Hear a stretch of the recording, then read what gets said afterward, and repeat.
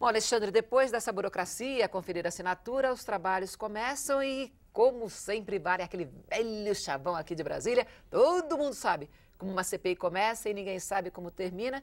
E eu acho isso até essa preocupação do governo em tentar controlar a investigação, né? Pois é, o governo quer tentar controlar, está preocupado em manter a CPI sob controle, não tendo conseguido evitá-la depois de tê-la desejada tanto, desejado tanto quando apareceu um senador do DEM e um governador do PSDB, os governistas imediatamente pediram CPI. Depois que apareceu a Delta, construtora com muitos contratos com o governo, e o governador de Brasília do PT, aí os governistas tiraram o pé do acelerador.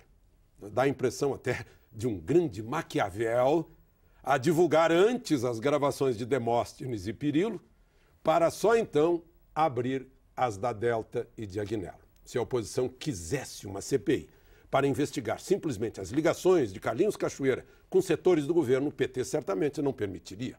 Agora está comprometido com a CPI e acabamos de ver que quem festejou a conquista de assinaturas para criar a comissão foram os oposicionistas.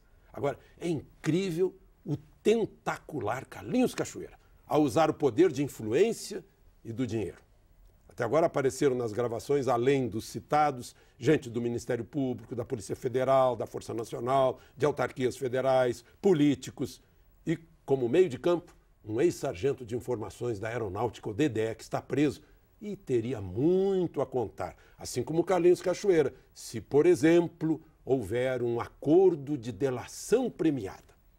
Como Carlinhos conhece muitos nomes e muitas histórias, Talvez fosse mais conveniente ele ficar na prisão federal de segurança máxima em Mossoró, mas ele veio para Brasília. Ele já perdeu peso, perdeu os cabelos, perdeu a mãe. Se ele achar que nada mais tem a perder e falar, a nação teria muito a saber.